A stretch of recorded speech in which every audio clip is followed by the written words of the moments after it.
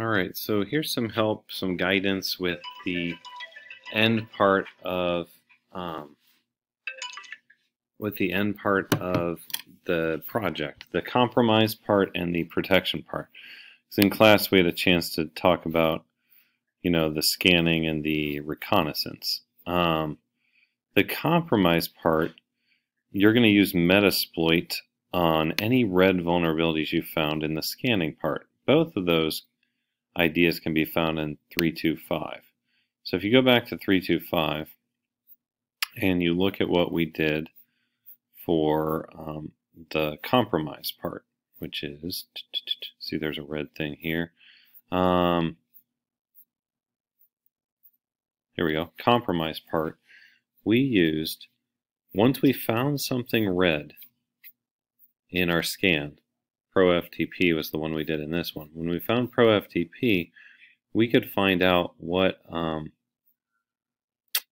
what version it was and what its vulnerability actually was um, when we did our scan. And then we used this this software called Metasploit to attack it. So we opened up a PowerShell window and um, and did this stuff to attack. Now you'll see the directions here are how to attack ProFTP. If you find a different vulnerability, you just won't search ProFTP. You're going to search whichever vulnerability you find. Okay? And then you should get to see a bunch of exploits. Now this one told you which one to use. Um, let me jump back over here. Boom. Uh, hasn't. Oh, oh, there's a red one. Um, I'll look in a second if another one comes up. So anyway, what you're going to put in here is the results of your Metasploit. Um, we're going to go in here and you'll just start to follow the directions here. Um, MSFDB, start, right, and then, then we have uh, MSF console, all one word.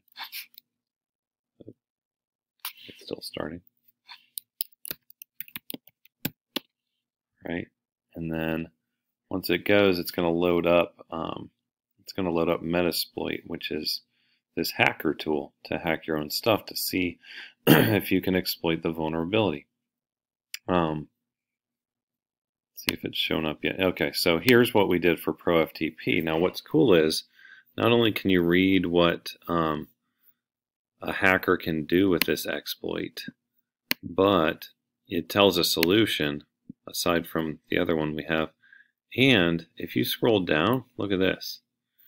This even tells you it's exploitable with Metasploit Pro FTP 135 mod copy command execution. It tells you which one to search for. So when you go in here to Metasploit, which is open now, um, and you do the search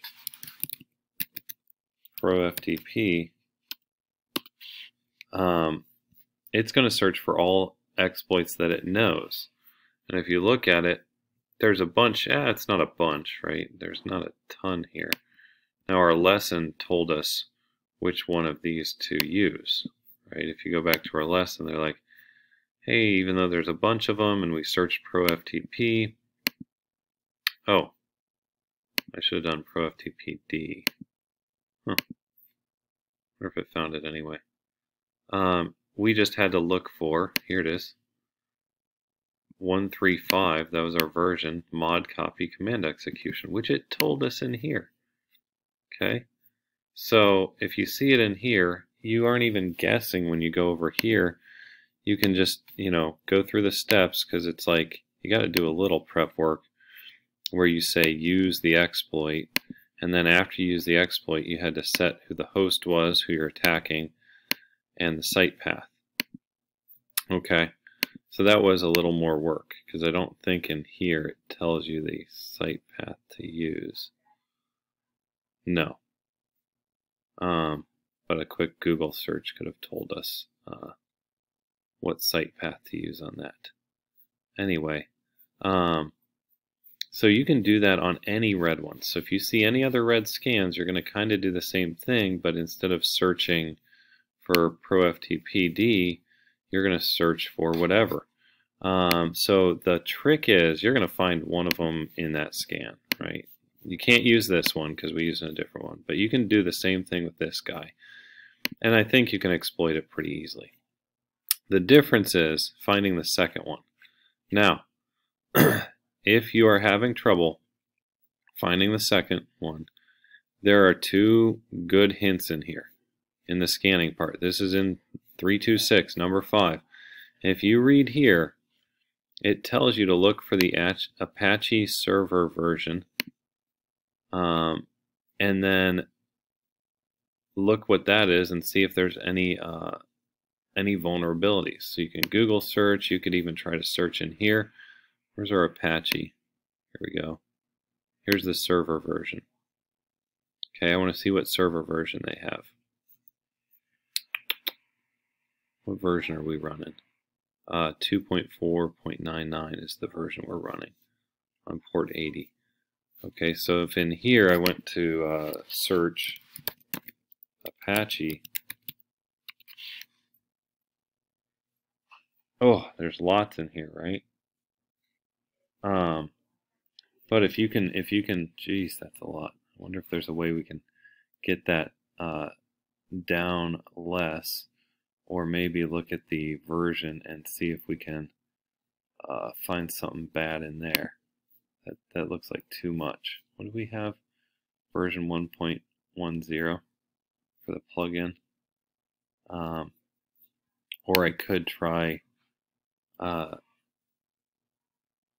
I could try to yeah I could try to look that one up. Maybe I can look it up by that type the 1.10 for our server version.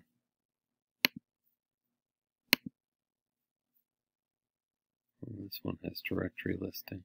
Hmm. Okay, so but down here it doesn't have uh, it doesn't have an exploit available. It said exploited by Ness is true. Okay. Um. Anyway, so that's one option. You can look into this, uh, look up the HTTP server version, see if you can um, find the vul vulnerability there. Um,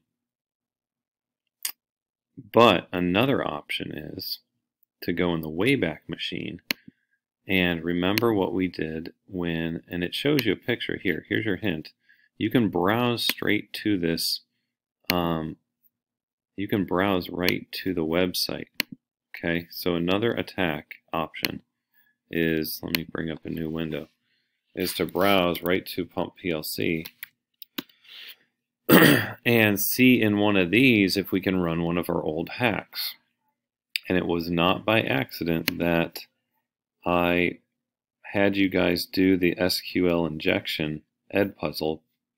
Um, you just need to go refresh your memory on how to do an SQL injection and then find the right web page for it. You'll probably find it. Um, there's also another hack in here too. So you actually have three options, right? Um, and if you don't remember how to find the SQL injection, all you do is use the search here and type in SQL injection. And it'll take you to the section of uh,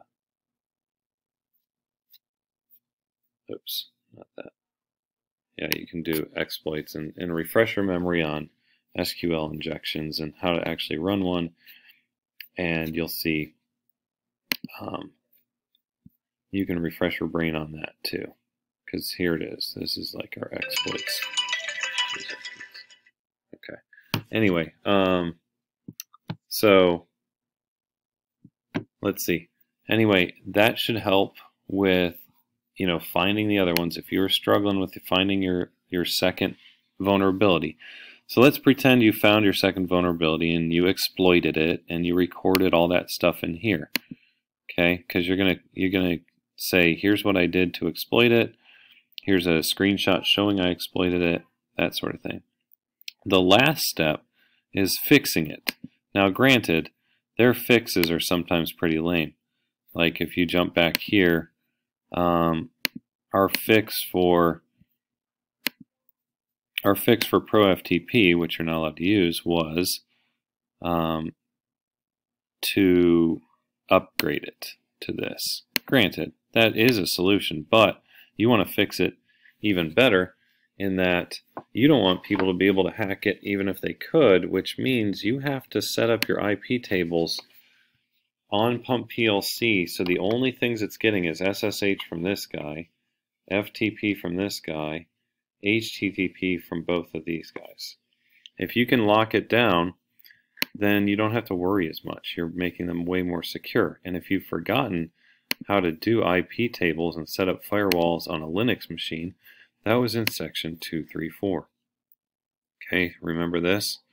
We did this lesson a while ago, way down near the bottom. Here we go. Um, actually, it's not even near the bottom. Yeah, here we go. Like around 16, you're going to start doing this stuff. Look at the current uh, IP tables. Take a picture of it. Flush them so you clean it. Um, you don't need to do this one because well, you do need to do something like it, but I don't want SSH just from anywhere. I want to control my source for SSH to just target Windows. So you're going to set up some IP tables, um, look at them. This is a good one. I think this is still, yeah, this is still a good one. This is how you get FTP from the source of pump monitor. You're going to do a similar thing with HTTP. Okay, so and that the, don't forget, the very last two moves you have to do after you set up all your IP tables is put in that drop and don't forget to save. And then you're going to list out your IP tables again and see what, what that you actually got it to set up just these four moves. Or maybe five if you do HTTPS, two, five or six. But still, those are the moves you got to do. Um, look back at 324 and then you can put your pictures in here of all the all the firewalls you put up. Hopefully that gets you on the right path. If you were stuck on the compromise part, um, using Metasploit and this thing here, just remember you can't use the one we used for our last lesson, so you got to use a new one. And then finding any other stuff, you can find a couple more in here, or you can look up that stuff for Apache. Okay. All right, so hopefully um, after you explore this page a little, you'll and look back at some hacks, you'll be able to do this. You can always email me if you have questions, and uh, I can help you out with specific questions. All right, I will talk to you later.